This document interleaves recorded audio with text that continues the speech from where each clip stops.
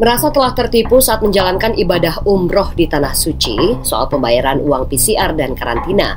Puluhan jemaah umroh melaporkan salah satu travel di Palembang ke polisi. Tangan kami di sini sehubungan para klien ini adalah jamaah daripada umroh yang berangkat tanggal 27 dan 28 Maret 2022. Pelaku curanmor di Palembang, Sumatera Selatan terekam kamera CCTV.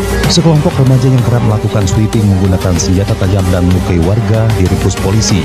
Dari tangan pelaku, petugas menyita senjata tajam jenis celurit. Aksi premanisme yang dilakukan beberapa oknum debt kolektor semakin meresahkan masyarakat Palembang akhir-akhir ini.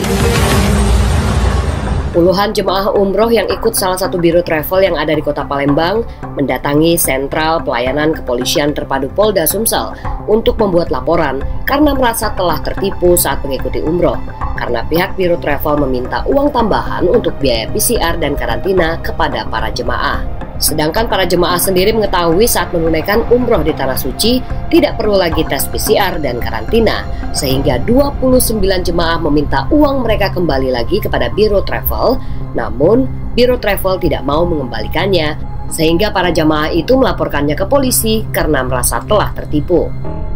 Kuasa hukum jemaah umroh Amin Trans mengatakan, jemaah ini merupakan jemaah umroh yang berangkat pada tanggal 27 dan 28 Maret 2022 dan diminta ada uang tambahan untuk PCR dan karantina. Padahal pihak Arab Saudi pada tahun 2022 telah menghapuskan untuk PCR dan karantina. Tangan kami di sini sehubungan para klien ini adalah jamaah daripada umroh yang berangkat tanggal 27 dan 28 Maret 2022. Jadi sehubungan itu ada indikasi dugaan uh, pihak travel holiday angkasa wisata yang berada di KM 12 itu memungut dan meminta biaya tambahan karantina dan PCR dan antigen 2022 resmi pemerintah Arab Saudi sudah mengeluarkan pengumuman tersebut bahwa dihapuskannya karantina PCR dan antigen. Nah, padahal jamaah ini, klien ini, korban daripada tipu gelap ini berangkat tanggal 27 dan 28 Maret 2022. Nah, seharusnya pihak Holiday Angkasa Wisata mengembalikan kelebihan dana yang diminta tadi. Berapa nah, banyak? ini Berapa nggak banyak nggak korbannya, Pak? nggak dikembalikan. Berapa banyak korbannya Pak?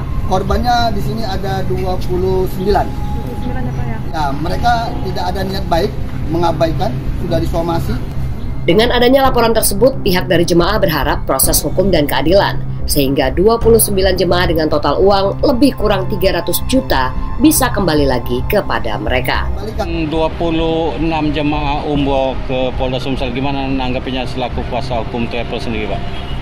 Eh, terkait laporan itu bahwa laporan itu kalau menurut kami itu salah sasaran dan itu salah alamat bahwa travel umroh yang dimaksud itu tidak pernah eh, dan tidak mengenal jamaah-jamaah tersebut. Travel umroh mengenal dari agen, dari agennya, bukan dari jamaah langsung. Oh, Jadi hmm. laporan tersebut menurut kami itu tidak benar, Un- salah alamat. Untuk uang tambahan sendiri untuk PCR dan antigen gimana itu Pak? Katanya dari travel sendiri yang mengutipnya. Kalau eh, dari travel kita itu ada brosur. Hmm. Brosur itu sudah include biaya eh, karantina, PCR dan Hmm. antigen. Hmm. Jadi include, bukan ada tambahan.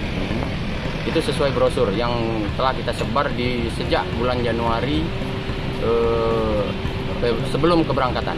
Dari Palembang, Sumatera Selatan, reporter Jane kameramen Febriansyah, PBTV mengabarkan.